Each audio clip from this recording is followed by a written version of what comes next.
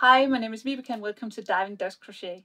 Today I'm going to show you yet another headband tutorial and if you want to see all my other headbands then go ahead and check out the playlist on my channel page. So today I want to show you how to crochet this beautiful headband. This is very easy to do and I will show you the whole way from the beginning to the end. So just follow along. Let's begin. Remember to subscribe to my channel and hit the bell if you want to be notified. First, a little about the materials for the yarn. I've used this mega ball yarn from Hobbii. Uh, I will write down in the description how much yarn you will need from this mega ball. You will not be needing the whole thing. Uh, and then I have used a little bit of titanium colored as well for the edge. Then I've used a 4mm crochet hook, some scissors, and a tapestry needle. To begin this, I start with a slip knot. So make a loop with your yarn Take the long end of the yarn behind the loop, grab it from the middle with your hook, and pull. Then, whoops, sorry. Then I chain 100 chains. So yarn over, pull through. Yarn over, pull through. Yarn over, pull through. Keep chaining until you have 100 chains. When you have 100 chains, you will begin working into these chains. You skip the first two chains, move on to the third chain and half double crochet into this. So yarn over and then insert the hook in the third chain. Then yarn over and pull through. You have three loops on the hook, then yarn over and pull through all three loops. That's a half double crochet. Move on to the next stitch, this one, and half double crochet into this. So yarn over insert the hook, yarn over and pull through, yarn over and pull through all three loops. And again in the next one, yarn over, insert the hook in the next chain, yarn over and pull through. You have three loops on the hook, yarn over, pull through all three loops. That's how you half double crochet. Continue with one half double crochet all the way across. You chained up 100 and you skip the first two, so you should have 98 half double crochet when you're all the way across. And then your first row would look like this, just a bit longer than mine. Now we will turn, so you chain two to turn the work. Yarn over and pull through twice. Then we turn and then we skip the two turning chains and move on to the third stitch. And in this stitch we will back loop half double crochet. So we already know the half double crochet. And now this is the entire stitch. We will only be working through the back loop of the stitch which is this part of the stitch. So work a regular half double crochet but only through the back loop of the stitch. So yarn over then insert the hook through the back loop of the stitch. Then yarn over and pull through. Yarn over, pull through all three loops.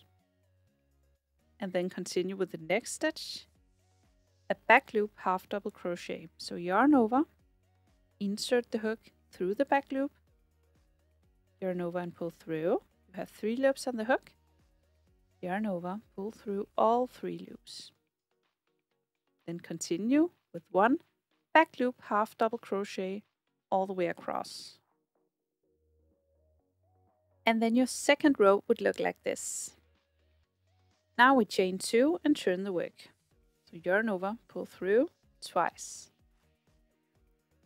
And then we just repeat the second row again and again. So you turn the work, Skip your two turning chains move on to the third stitch and back loop half double crochet into this. So yarn over, insert the hook through the back loop only and half double crochet. So just repeat row two. Just one back loop half double crochet in every stitch. And just repeat this until you think your headband is wide enough. Then when you're satisfied with the width of your headband, I did 12 rows in total and this measures about 10 centimeters for me.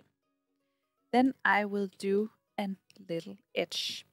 So just before I finish the final stitch, I have one stitch left to go. So I begin my half double crochet with yarning over and inserting the hook in the back loop, yarn over and pull through. And then I stop. Then I grab the new color yarn, the color I want the edge to be. Um, and then I yarn over with this color and then I pull through.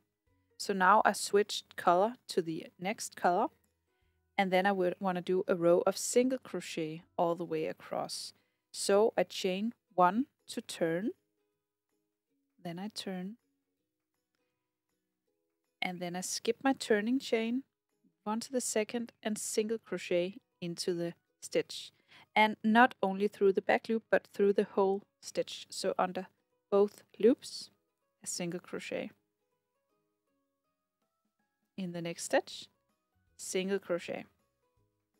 And then I continue with one single crochet all the way across. I just want to do a couple so you can see how it looks. So this is how it's going to look. And on the back side is not as pretty. So when you're all the way across, you want to do an edge on the other side as well. So when you are all the way over here, you want to turn it and then begin the same way over here. Just switch the yarn to the white color and then continue on this side. So this will be the front side on both uh, edges. So one single crochet in every stitch on each edge. When you're done with both edges, you're now done with the crocheting part. We will now be sewing it together so you have the right side facing up and now you fold your edges into the middle. Then you take a new piece of the brown yarn and thread it on your needle. And then you attach the yarn to the uh, headband, to the back side of the headband. And then you take these edges and then you fold it like this in the middle so they can grab each other like this. So you push them in between each other and make sure it goes all the way into the middle like this so you don't have any gaps in here. You have to push it all the way in so you have all four layers. You take your needle and then you push it through all four layers. And then you sew it together all the way across and all the way back. So just push it through all four layers all the way back and forth.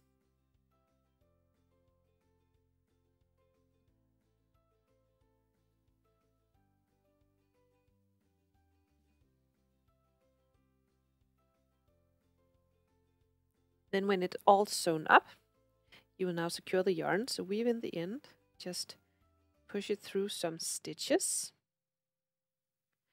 And then again, back through the same stitches. That's it. Then we can cut the yarn.